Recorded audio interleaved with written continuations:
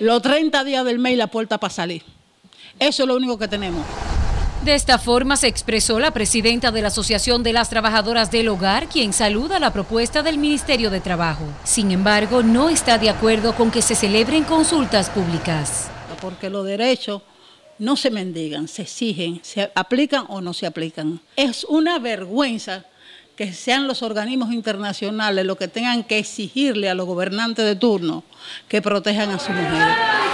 Al resaltar que representan el 5% de la población económicamente activa del país, lamentó que aún siguen siendo el sector más vulnerable. No, no dan el sueldo que no tienen que dar. En tanto, la Asociación de Amas de Casa favorece la iniciativa, pero la considera como un arma de doble filo, ya que no todas las familias podrán cargar su presupuesto, lo que se traduce en desempleo para miles de domésticas. Hay que buscarle una vuelta final que no afecte tanto, tanto a las, empleado, a las empleadoras como a las empleadas según su categoría económica.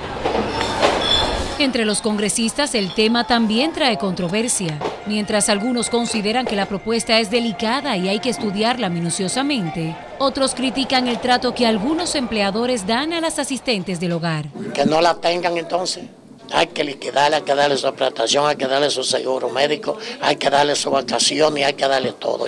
Para la propuesta de resolución, el Ministerio de Trabajo celebrará consultas públicas, discusiones que tendrán una duración de 25 días. Gabriel Andújar, Noticias, SIN.